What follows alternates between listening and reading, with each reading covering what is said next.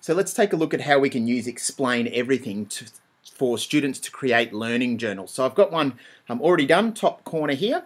So this is Explain Everything. I used to do learning journals with my students um, when I had a class, a full-time class, uh, every Friday afternoon. So it was a real recap, a reflection of the week's learning. And you can see here with explaining explain everything how easy it is to do.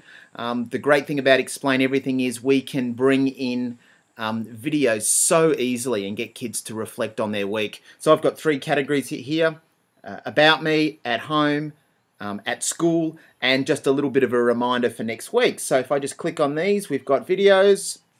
I learned this week that um, I'm very good at organising things and also working with others.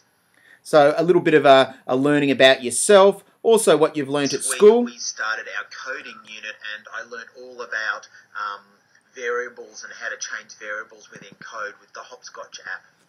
And finally at home. This week at home, I learned how to get along better with my brother and um, how we can help each other out to work out problems.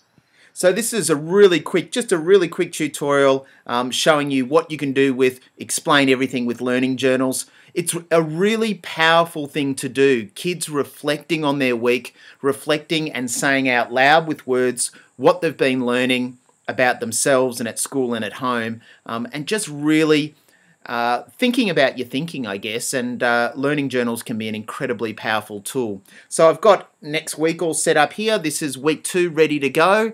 Um, students can create these very easily, and it's just a case of clicking on the side there, new video, it gets imported straight in, and students over the course of the whole year can demonstrate their learning as they go through. Just a really powerful way to use iPads in schools.